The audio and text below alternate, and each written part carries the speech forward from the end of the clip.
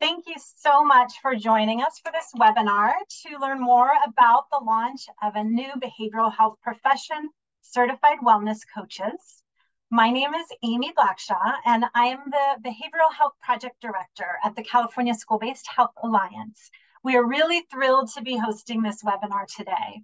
And we're so glad that you're joining us today as we deepen our knowledge about certified wellness coaches, which is an exciting aspect of the Children and Youth Behavioral Health Initiative, CYBHI, and to think together about the potential roles for wellness coaches as part of a school-based health and wellness center team.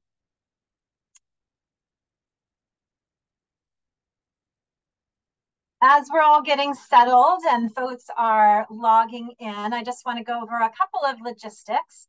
Um, we are recording this webinar and we will be posting the recording and the slides to our website in the next couple of days. We'll also email this out to our entire list of registrants. Um, so you'll be receiving an email to follow up. Um, we have the Q&A enabled, so feel free to use that to put your questions. We're going to have ample time for Q&A later in the webinar. Um, and we may do some responding live, or we may hold questions or lump them together if they're similar. Um, but please feel free to uh, start populating the Q&A. You can also respond, add comments or reactions through the chat uh, we really welcome interaction. So um, I'm from the California School-Based Health Alliance, and we are a statewide nonprofit organization whose goal is really to, we sort of sit at the intersection of education and health. And our goal is really to improve the health and academic success of children and youth by advancing health services in schools. So we really are based in two concepts of healthcare should be accessible and where kids spend most of their time, which is in schools, and that schools should have the services and support to ensure that poor health is not a barrier to learning. So our, our work really aims to support the growth and best practices of school-based health centers and wellness centers and school health programs in general, and a big part of our work is to gather school and health professionals, to organize convenings, to support and disseminate expertise and best practices and models of care that are having a real positive and meaningful impact. So our website link is coming, there it is. Uh, so please take time at some point to look at our website. We have lots of resources there for you. Um, and uh, information about future seminars and workshops that we'll be offering. Many of you have attended our annual conference uh, in the past. Uh, if you haven't, we invite you to come this year. Uh, our conference in 2024 will be held April 29th through 30th at the Santa Clara Convention Center. Um, it's really an, an, inspiring conference uh, filled with school health champions. Um, right now, we've opened registration. It's early bird, so it's a discounted rate to um, register. And we're also accepting abstracts to for folks who want to present at our conference. If you are doing something innovative or that you're making a big impact in your school community, we'd love to know more about it. We'd love to share it out. So um, you can find out more about submitting an abstract by going to our website. And there's a, um, the, yeah, the links are in the chat already for you. Okay, we are, um, our resources are available to anyone. We have lots of resources and trainings and webinars for free on our website. You can participate in any of those things. But we do have some extra benefits for our members. And so if you're interested in becoming a member, go to the link that's also being dropped in the chat right now for you. One of the biggest benefits is a really um, big um, discount for our conference. So we have a $200 discount uh, went for our members. So members can get additional tools and resources, as well as some individualized technical assistance for your organizational needs. so back to our opening slide and the topic of our workshop today. Many of you have probably been following closely the various work streams of the, the Children and Youth Behavioral Health Initiative. And for others, this may be fairly new information.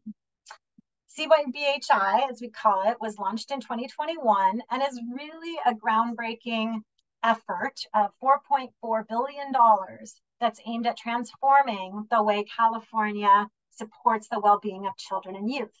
It is led by California's Health and Human Services Agency and involves multiple other state agencies, including the Department of Healthcare Services and the Department of Healthcare Access and Information.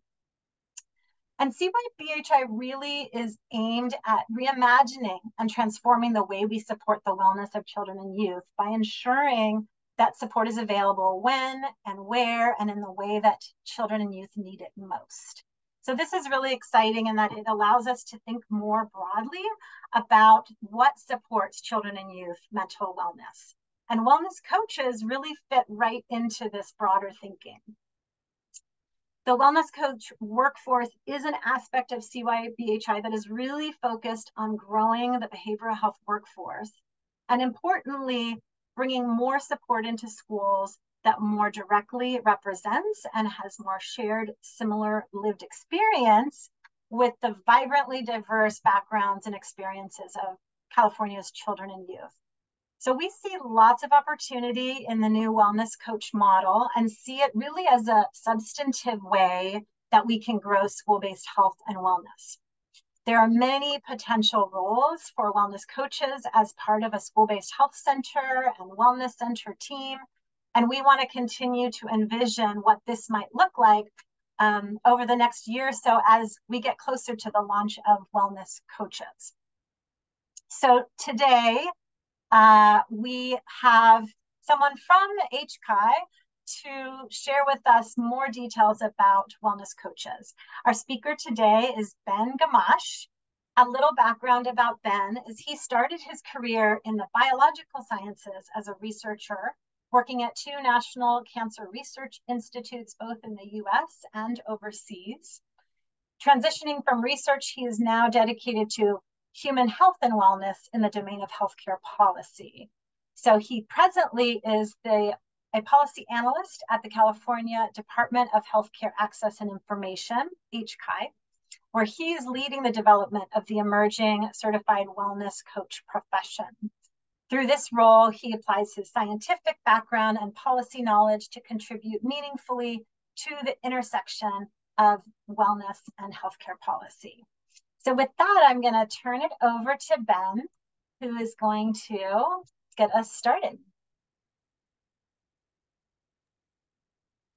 Wonderful. Thank you so much, Amy. Uh, really appreciate that background information and that wonderful introduction. So as Amy mentioned, I am Ben Gamache with the Department of Healthcare Access and Information. And today I'll be presenting an overview of our wellness coach model, uh, some updates for those of you that are already familiar and have been tracking that, and then some information for those that are brand new to this as well. And we are going to be providing lots of contact information and ways to follow up. So please uh, feel free to reach out to us so that we can connect with you if there's a deeper dive that is desired. So a little bit about HCI a rather new department, and the mission of this department is that every Californian should have access to equitable, affordable, quality healthcare. So that is the lens that we come from, uh, and we're always thinking about this in terms of equity uh, throughout the state of California.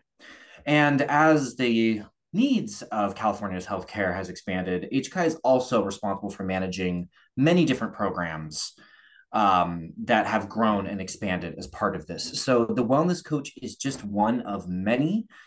Um, so you know, HCI is definitely involved across many many work streams. And part of that, um, a little bit of history as well, is we were the Office of Statewide Health Planning and Development. And then it was in 2021 that we moved into a department to reflect the growing portfolio and a more descriptive name. So some of the uh, areas that we support are to increase a health workforce that serves medically underserved areas, represents the California it serves through racial and language diversity, and supports Medi-Cal members. We also offer financial support in terms, um, in addition to uh, the health workforce. So that includes organizations expanding educational capacity, individuals to pursue health careers through scholarships and loan repayments, as well as organizations to build the workforce pi pipeline. So again, HCI is involved in many different initiatives support both our workforce and our education.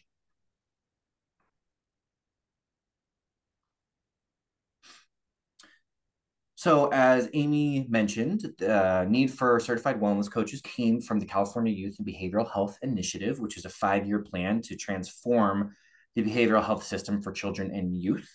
And as part of that, HCI received 338 million to design and build this new certified wellness coach role. And this role is specifically designed to increase overall capacity throughout the state of California uh, of our behavioral health workforce to build a public behavioral health workforce that better represents the diversity of California's children and youth. Um, that is something that we heard loud and clear as we were doing a lot of our engagement is we uh, really need to see individuals that better represent the broad diversity that we see uh, throughout California. I'll touch on this in future slides as well, but uh, another part of this was to fill some of the workforce gaps that exist today uh, and we wanted this to be a desirable occupation in and of itself, as well as a stepping stone to more advanced behavioral health roles. And I'll touch on that as well. Because this is part of the Children and Youth Behavioral Health Initiative, this is directly supporting children and youth age 0 to 25. And the intention is to support these vulnerable populations where they live, study, and work, which is why the school system and school based health centers and wellness centers is such an important aspect of this work. So this role was developed uh, over a rather extensive and lengthy process, which included uh, extensive research, literature review, um, many, many interviews with industry leaders that allowed us to come up with an initial design. And then once we had an initial concept, we then tested and refined that through a stakeholder engagement process where we came up with what we'll call our final model by the end of 2022 so 2023 has largely been implementation. So I'll touch on that in future slides as well. But this is all just to illustrate that this was a rather robust and lengthy process to come up with this model.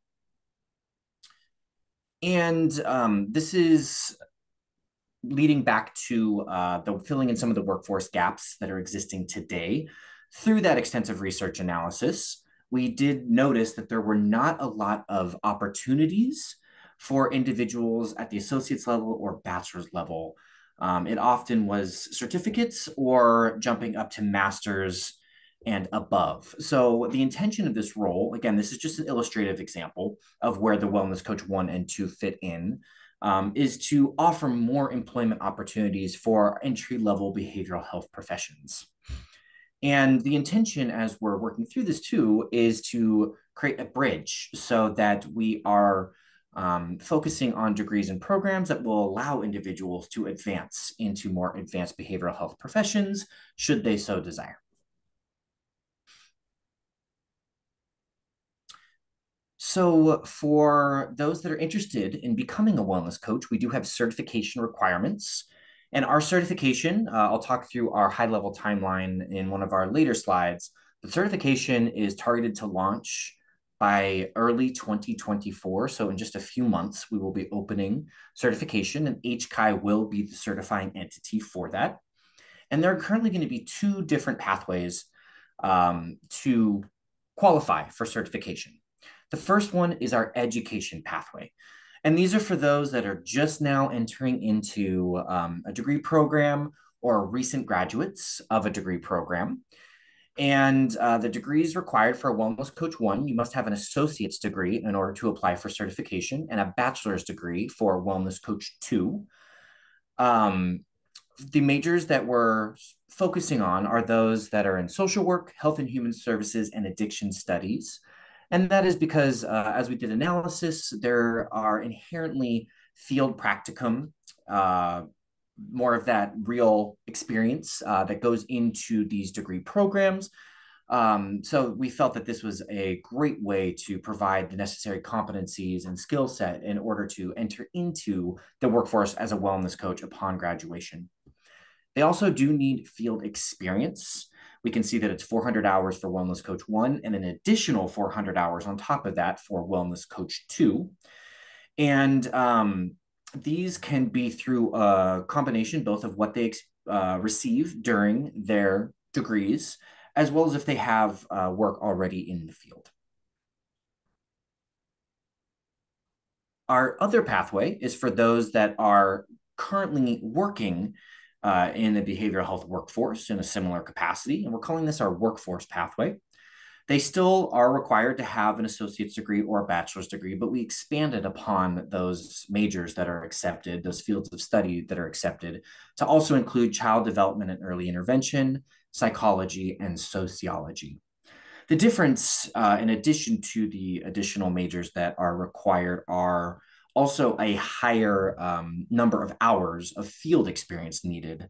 And again, this is for those that are currently part of the behavioral health workforce already. So many of whom are already working in a similar wellness coach like capacity. And these hours must be in areas of mental health, social work, child welfare, and or addiction and substance use. And again, this can be a combination of hours, both from their degree program as well as volunteer and um, hours actually working on the job. So uh, for those that are uh, qualified, if you have um, employees that are uh, currently already doing similar work at your organizations and institutions, we do encourage them to apply for certification as soon as that opens uh, within a few months. So high level overview of the services and competencies uh, that are involved in the certified wellness coach role. Uh, this is a preclinical role. So this is really focusing on primary prevention and early intervention services. And you can see those primary ones listed there of wellness promotion education, screening, care coordination extension, individual group support, and crisis referral. Um, we do expand upon these and have been working with organizations to support them in developing out job descriptions as well as um, some illustrative examples that we will be sharing of what this looks like in practice in subsequent slides. So we'll be expanding on this quite a bit to um, really show what this looks like uh, in practice.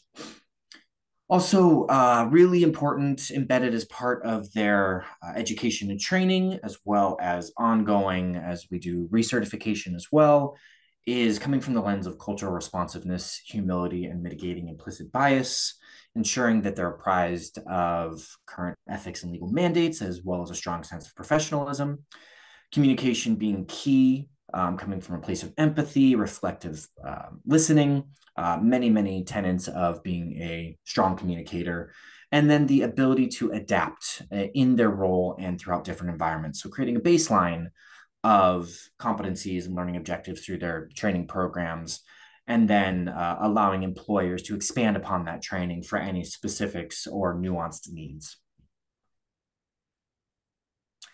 So, as I mentioned, what does this look like in practice? I'm not going to go through every single one of these, um, but just really wanted to show what this could look like at the school-based health centers and wellness centers.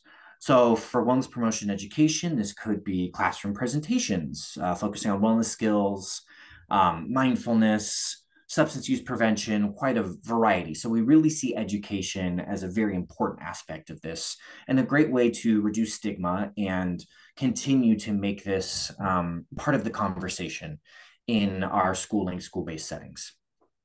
This could also include leading wellness, uh, campus wellness activities, uh, as I mentioned, addressing mental health stigma, um, really more than anything, continuing to build rapport, being another trusted individual on campus or around campuses. Um, we really have heard loud and clear that there cannot be enough uh, trusted adults on campus, another set of eyes um, and just an overall wellness champion. In terms of screening, um, this is really more about supporting the implementation and facilitation and coordination of universal mental health and wellness uh, student screenings with some examples listed there. Ooh. Sorry. Um, some targeted screening for specific groups, This could also be uh, referring students uh, who are presenting signs of mental distress. So, for thinking about our tier one, tier two, tier three um, students, you know, really being there to support our tier one individuals. And then when there are those that are presenting signs of more needed support in our tier two and tier three, that they understand when it's important to um, refer that up to a qualified individual. Let's see. So now when we look at care coordination extension, this could be supporting in case management, uh, navigating, navigating needed external referrals. Um, we really see this as an individual that's embedded as part of the care team. So we're not trying to supplant any roles. We're here to supplement as much as possible. So that can be coordinating with school staff, um, definitely supporting um, being under the direction and guidance of our PPS uh, credentialed individuals or licensed individuals um, outside of the uh, school setting um, making sure that they're really working to develop strong relationships with both internal and external partners, and then being an advocate for the students to ensure that they're getting the care and support that they need, being a warm handoff whenever uh, that is required. We can see some more here that a really great thing would be check in, check out support. Um, we do have uh, a great individual here, Mike, who will be able to you know touch on some of that, but he has been a huge advocate for check in, check out. Um, also supporting student uh, students individually with mental health education, uh, relationship support, other topics. So again, that one-on-one guidance uh, to provide need or support as needed and identify when there is um, more intensive support and making sure to be at the warm handoff for those individuals as they are um, progressed along. And some other examples here that we can see in group support um, can be coordinating and leading non-clinical skill building groups around mindfulness, anger management, um, socialization, stress management. Um, again, we can, when we're thinking through that diversity lens, that representation lens, they could lead or co-lead culturally specific or gender specific groups. And again, we're doing uh, as much as we can to really recruit and support um, as much representation in our wellness coaches because we know that our students and our uh, youth want to see individuals that look like them, that talk like them, that understand their experience. Uh, so that is a big aspect of what we're doing when we think about our marketing and our overall approach and how we're are, uh, supporting uh, potential applicants to become certified.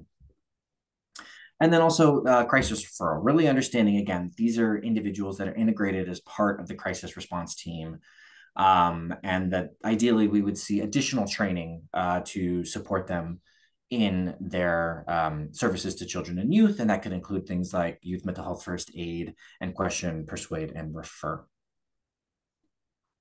So again, just some illustrated examples. We'll be sending out these slides as well as this recording so you can dive into this a little bit more, uh, but wanted to make sure that we were giving some real world context of what this could look like in practice. So, who could become a wellness coach? Um, this is for those, as we mentioned, um, some people might already be in their related education or doing similar work. We've heard as we do uh, more and more um, connection with the workforce that many people already have similar roles like this. So, this could just be a value add for them to become certified and um, continue on. And we'll, we'll mention how there's some benefits to funding and some additional sustainability measures that really could support uh, both the individuals and the organization. But this can be really anybody and anybody, um, everybody and anybody, rather. Um, we're really welcoming all backgrounds, all levels of experience um, to apply, as long as there is uh, a desire to work with children and youth and support them in their overall mental well being.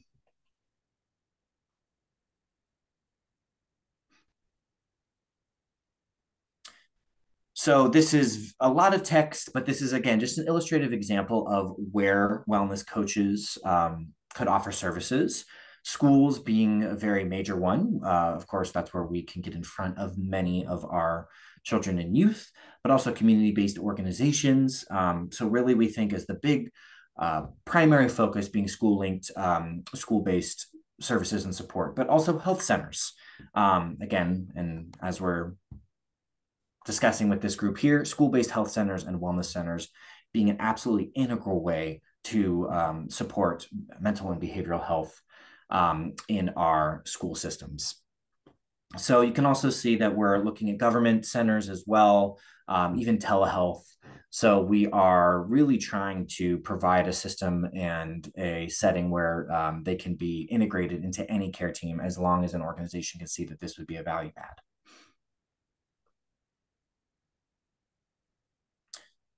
So I've alluded to a few of these things during the presentation. Um, but our kind of long term and major benchmarks that are coming up here in the coming years, uh, coming months and years. As I mentioned, we are doing uh, a rather broad marketing campaign right now. We are very close to launching our Wellness Coach website that'll have even more information. This is going to provide information to the general public uh, so they can really understand why a wellness coach was being developed, how this can support um, them, their families, their communities at large. But then there's also going to be a lot of guided information for potential applicants, for potential employers, um, even for training programs. So we, um, I should say, our education programs. Um, so there's going to be a lot more information, and we are gearing to launch that within a couple of weeks. So um, we do have a um, uh, web i'm sorry a uh, yeah website as well as an email address that we'll be providing. Uh, so definitely stay tuned for uh, even more information in the next few weeks. Um, i mentioned also that certification is getting close to being launched. So we are developing out a certification platform now um, that is going to be launched uh, we're targeting early 2024 and that's for applicants um, that are already qualified and can enter um, and apply for certification as soon as that opens. Um, we're also developing out right now grant opportunities, and this is for our employers. And that's also going to be launching in early 2024, expected to launch in January and be open for about two months from January through March and that is to support our employers in hiring on a wellness coach and covering the cost of their salary, compensation, and benefits, and even some support um, for supervision. So we're doing whatever we can to ensure that there's not barriers for our employers, so that as soon as those wellness coaches get certified, employers are ready to go and hire them on. When we think about, um, you know, really supporting a representative workforce, a diverse workforce, we want to try and reduce barriers as much as possible. So we're also offering scholarships to support students entering into education programs because we want to make sure that the cost of education, as much as possible, is not a limiting factor. And we're even looking at um, covering educational expenses, um, living, um, so, you know, some aspects of cost of living as well. So we're in the development of that now, um, but that is something that's expected to be launched in uh, mid 2024 we are also communicating with our California community colleges, our CSUs, and some other uh, public institutions to build out a uh, custom wellness coach education program. These will be considered HCI designated training programs, and eventually that's the only programs that we will accept um, training and education from. Uh, but because those things take time, that's why we're kind of doing this um, immediate certification for those that are already in related uh, fields and capacities. But uh, we are in the process of continuing to connect, as I mentioned, with our CCs and CSUs um, to develop out those programs. So we'll be on our website continuing to have a running list as more and more get added to that beginning um, for entry for those new students in fall of 2024. And then, as I'm sure many of you have questions around, is the long term sustainability measures. So we do have grants that are going to be launched in 20 early 2024, but that is just gap finance and gap funding uh, as we march towards building out wellness coaches as a reimbursable provider type and having their services covered, um, particularly in school-linked school-based settings through the multi-payer fee schedule.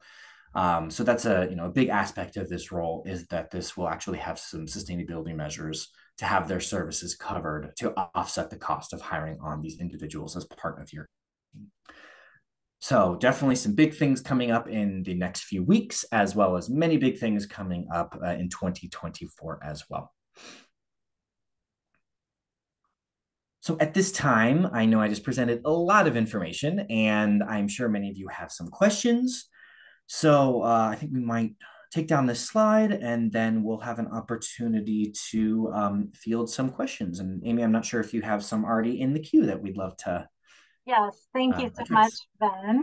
Yeah. Uh, we did uh, give an opportunity for folks to ask questions as they registered. So we have some questions already, and then people have been dropping things into the chat. So I wanted to just start with um, a question that came up in the registration, but also that I can tell folks are wanting more information and more clarification on. And that's if you could maybe talk a little bit more about the two pathways, the education pathway and the work workforce pathway for those who already have some experience.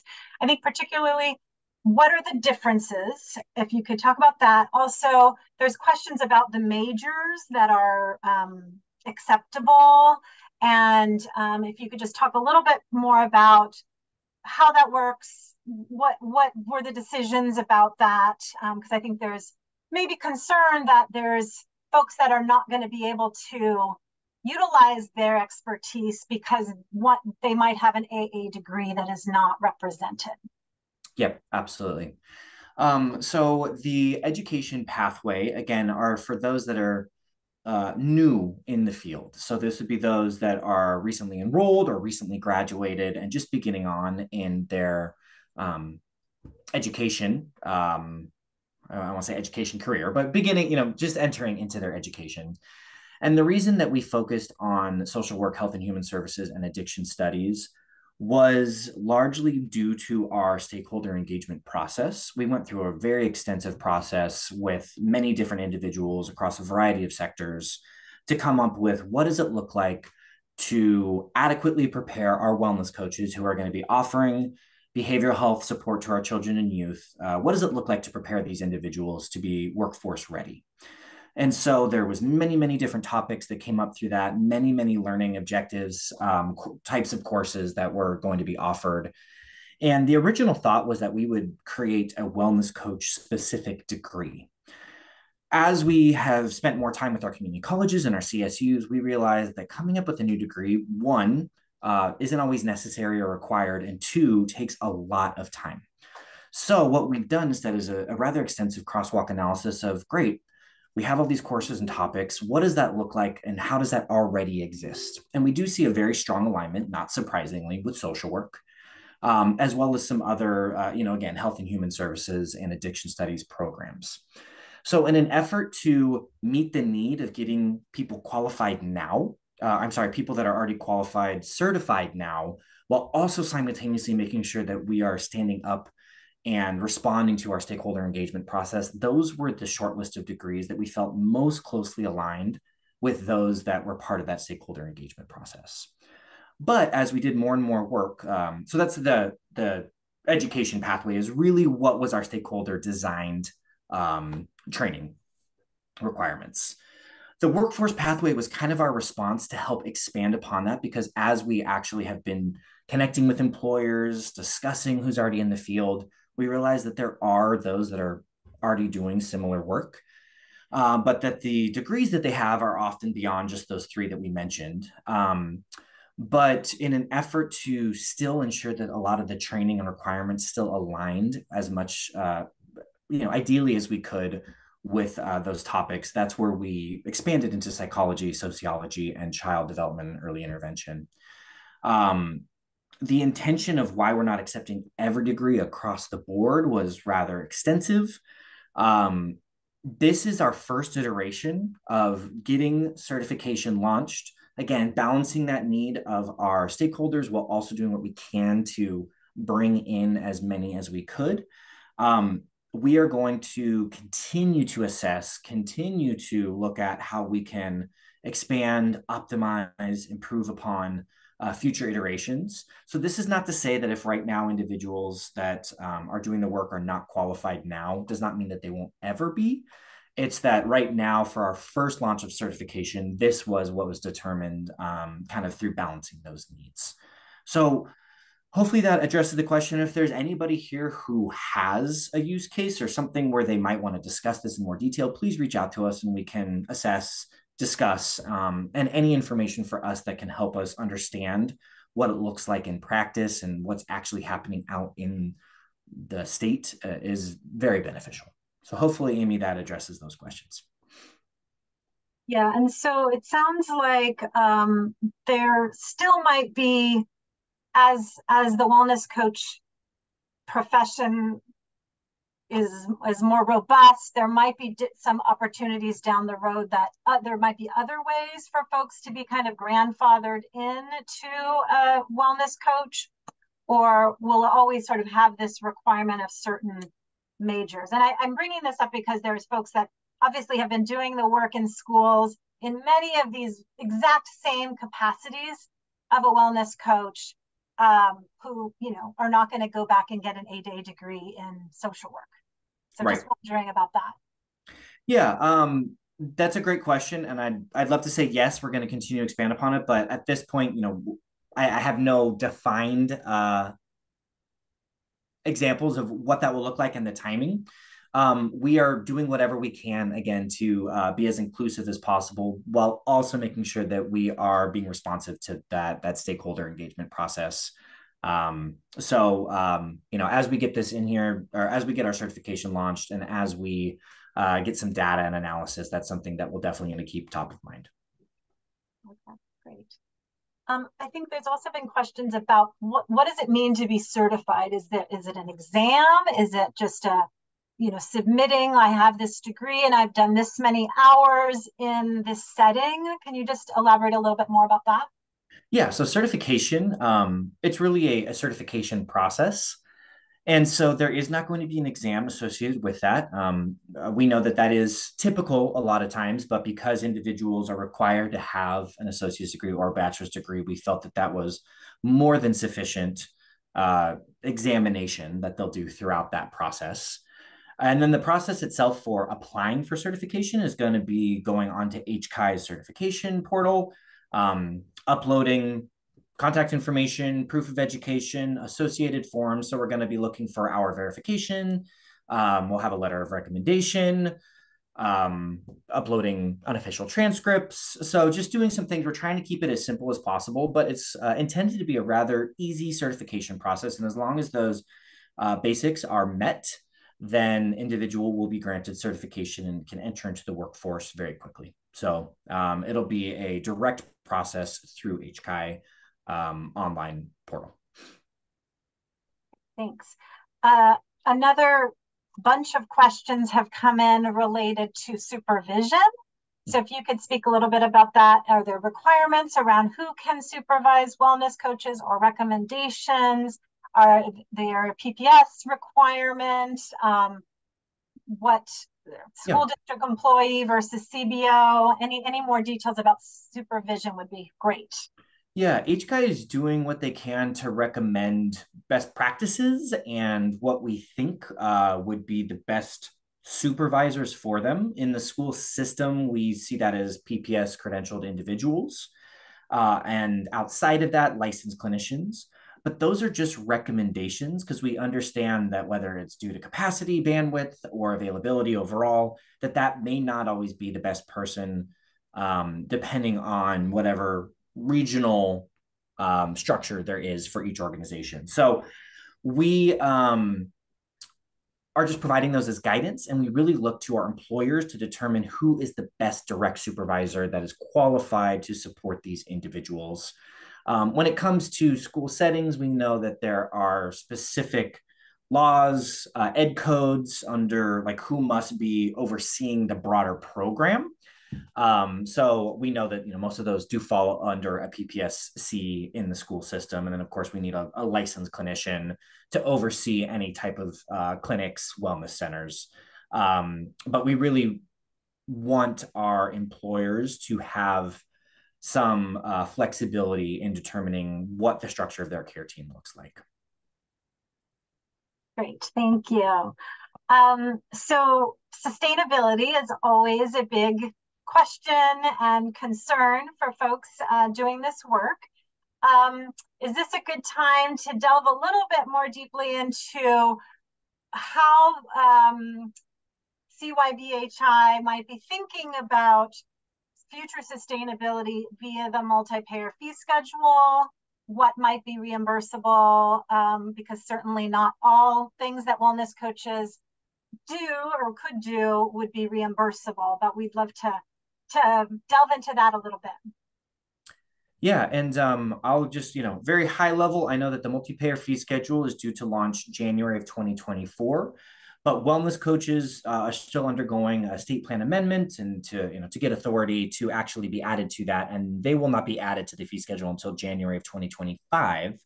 Um, so very high level, that is the timeline there. But I would also love to uh, pass this over to Autumn, our representative from DHCS, who can expand on that a little bit more. Good afternoon, everybody. Um, my name is Autumn Boylan. I'm with the California Department of Healthcare Services, and I can answer the questions related to the CYBHI multi-payer fee schedule. Uh, we will be seeking at DHCS a state plan amendment to um, ensure that we have appropriate federal authority for wellness coaches. Um, and we'll plan to submit the state plan amendment in 2024 uh, with an effective date of January 1st, 2025. So we will um, add wellness coaches uh, to the multi-payer fee schedule once we have the appropriate authority under the state plan. So starting in January of 2025. Are there, uh, I know that there's a couple of other specific questions, Amy, in the chat. So I don't know if you want to. Yeah, there's um, questions coming. One. Yeah, yeah, a lot of different questions. We're really going to try to get to as many as we can, but I can tell already we're not going to get to all the questions. Uh, so we will do our best to get information out to you. Um, I think that, uh, you know, not everyone might be that familiar with the multi-payer fee schedule on this call, but um, if you could speak a little bit to how um, certain you know parts of the scope of a wellness coach might i know we still it's all pending the approval but might be services that would be billable that um, would allow a school-based health center a wellness center a school or an organization to get some reimbursement to support the role of a wellness coach so i'm just wondering if you can talk a little bit about scope sure. Yeah, so the, the CYBHI multi-payer fee schedule will include a variety of services across uh, four primary categories. Um, psychoeducation services, screening and assessment, therapeutic treatment services, and case management or care coordination services. Uh, the services of a wellness coach, um, as Ben earlier in the presentation that will be included under psychoeducation or screening and assessment, for example. Um, however, uh, similar to the way that we um, structured the state plan amendment for community health workers, where we uh, created a new benefit category for community health workers, not just added provider types to this state plan would likely do the same type of thing for wellness coaches so that the wellness coach services would be a benefit category that would be inclusive of all of the activities that Ben described earlier in terms of the model of services for a wellness coach. Okay, great, thank you. Um, part of your, your audio cut out for a minute, but hopefully the main points got across. Um, and so would I think one of the maybe this is getting too much into the weeds, and if that, so, that's okay. We can defer to later. But I think questions are coming up about how um, the billing could would work and how complex is it? How um, difficult would it be for, say, a community-based organization or a healthcare organization who hires a wellness coach to be able to to bill for reimbursement? So for through the fee schedule, um, the local education agencies are kind of central to the provider network structure of the multi-payer fee schedule. And so any organizations that are affiliated with a local education agency and designated by the local education agency as an eligible practitioner would be able to bill for services under the fee schedule structure. So that would include services provided by a wellness coach once we have state plan authority for the wellness coach services in January of 2025. Great, thank you. Um, pulling a couple of questions from the Q&A. Um, there's questions about a list of community colleges or CSUs that will be either part of the training or if you can like specify, I think folks are concerned about folks that might be in more rural areas of California, ensuring that there is access to the training programs. Yeah, so um, as far as the education programs that will be allowed, uh, we are working with our community colleges and CSUs now um, to offer these um, and become an HCAI designated training program. But what we're doing in the the close or the near term again is that those pre-qualified pathways. And I do see someone here saying that we are 90 miles away from the closest CCC. So definitely looking at um, you know any type of classes that can be taken online that can qualify as well. So um, you know, for those that are concerned about availability, we definitely can connect and discuss what that might look like um, to ensure that these availabilities are offered for our individuals in rural uh, regions as well. So happy to connect in and look at that in a little bit more detail, knowing that there's going to be regionally um, specific differences. So please don't hesitate to reach out, and we'll make sure to offer our uh, wellness coach email so that you can contact us. Um, another question for you. How is HCAI ensuring that the wellness coach workforce will be representative of California's diverse children and youth? Yeah, that's a great question. Um, we are doing many things when we um, think about our marketing as well as our grants and scholarships. So, marketing, uh, we're taking a lot of efforts. We have um, engaged with children, youth, and families, as well as many organizations that specifically specialize in equity um, to really think about how do we strategically get this information out and make sure that um, individuals that are potential applicants are aware of this opportunity uh, coming from these different um, demographics, backgrounds, experiences. Uh, we are doing what we can to really think about uh, weighting our scoring when it comes to scholarships and grants for those that are supporting um, underserved population. So that could be looking at rural communities, that could be looking at Title One schools, that can be looking at those that have experienced homelessness. Um, so quite a few things are being addressed, and that's something that HCAI does in all of their programs is look at scoring um, when we come from lens of equity, diversity, representation. Um, so there's a lot of things that we are embedding into all of our programs inherently, uh, but then continuing to make sure that our children, our youth, our families, our communities have a voice and continue to be part of the program. And that is something that CYBHI uh, broadly is continuing to do. Um, they've done equity toolkits. They're continuing to have um, uh, equity groups, uh, learning groups. So we continue to embed and integrate both stuff from our department level as well as a broader agency level um, in terms of coming from that lens. Um, so hopefully that addresses that. And we can always provide more specifics if people want to know exactly what does that look like. Great, thank you. There's been some questions in the chat also that we got ahead of time. I think um, Autumn, you maybe addressed a little bit in the chat, but maybe we can just out loud talk about the distinctions. I think there's there is some uh, confusion about the different uh, providers in terms of community health worker versus PPS versus certified wellness coach. And so maybe we can just help people understand these different roles and, and how it all fits together.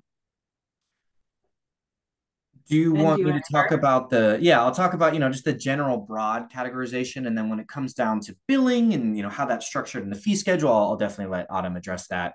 Um, but you know, the wellness coach, we just want to continue to reiterate that this is specifically focusing on behavioral health and specifically focusing on children and youth. So they have a little bit more of a narrow lens on the type of specialty that they're focusing on. Um, there can definitely be some overlap inherently when we're talking about preclinical services. So inherently, there might be some support around substance use. Um, but you know, we definitely see our like peer support specialists, for example, they come from a very strong lens of lived experience, helping support those through recovery, um, through addiction. And so they might be more specialized in that lane. Our community health workers, again, um, of course, are going to be supporting children, youth, and families, but they're more directly embedded into their community, helping navigating community resources, really supporting and integrating with families. Um, whereas, again, our wellness coaches are very much specifically focused on our children and youth in that behavioral health capacity, which is why we're continuing to focus on our schooling, school based settings uh, as a way to support them by getting in front of those target populations. Um, so that's very broad level, uh, but I'll let Autumn, you know, if there's anything you want to expand upon within that, uh, that would help illustrate. Thanks, Ben. I guess I would just uh, reiterate what I said in the chat for other folks.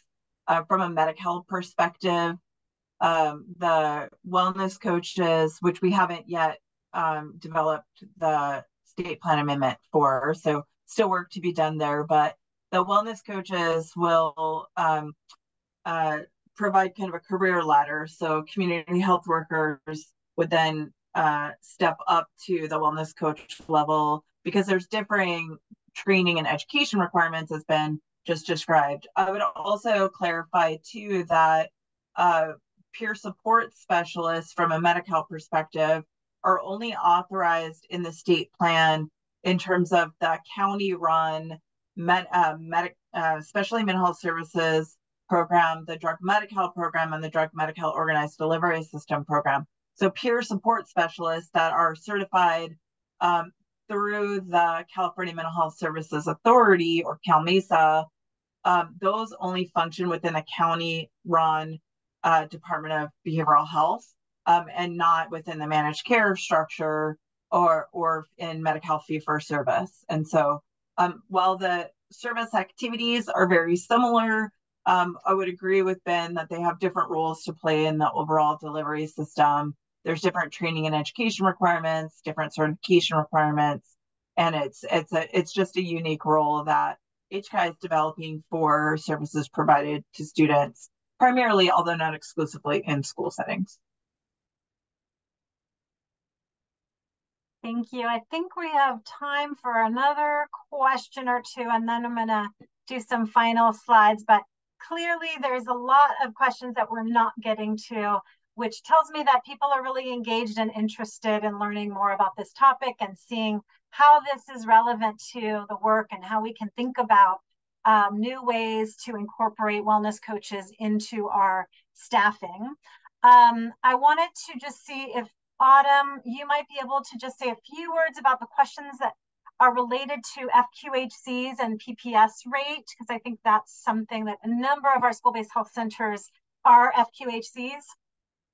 Yeah, so I mean, we'll put out some additional guidance about that specific issue, but our current thinking is that for FQ, FQHCs who are reimbursed at the PPS rate, the billing would work the same way that it does today um, and there wouldn't be a change for Medi-Cal enrolled members.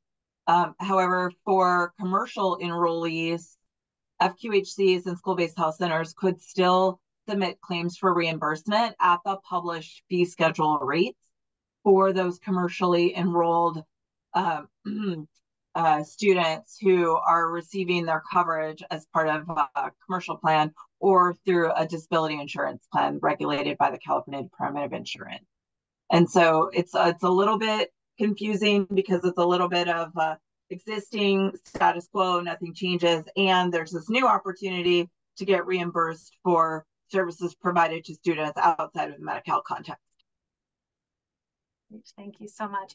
And I hope that folks are noticing in the chat, we've dropped a whole lot of helpful links um, where to get more information from HCAI, their website, as well as specifics about the multi-payer fee schedule. There's a really helpful short video that can, can give you a real base understanding of how it's gonna work, as well as links to their website. Um, we will continue to be um, uplifting any trainings that are coming. We are working closely with our state partners to try to help the school health and wellness world really um, think about this on the ground and what that might look like. Um, so I think that what I'm going to do now is go back to our final slides, but I really appreciate everyone's many, many questions, and I apologize that we could not get to all of them. Um, so let's just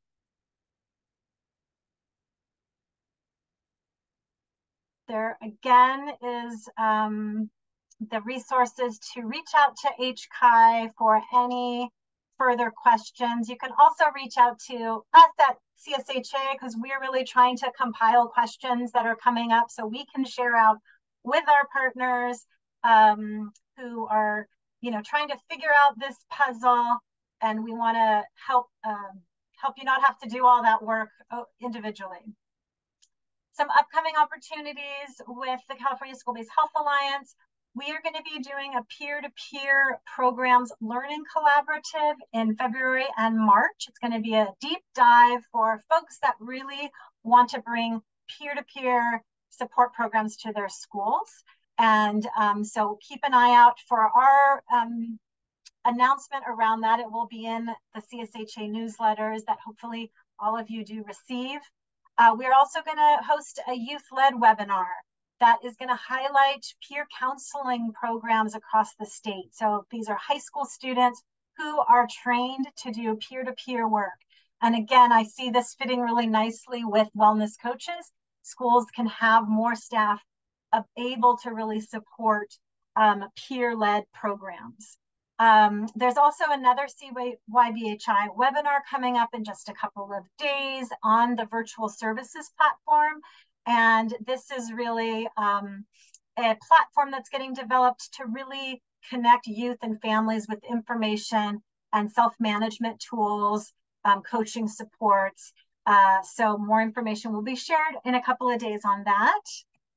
And there's also a webinar this Thursday that is about a funding opportunity for peer-to-peer programs. This is um, $10 million that the state has allocated, well, actually 8 million, excuse me, um, that's going to support high schools that want to start peer-to-peer mental health programs.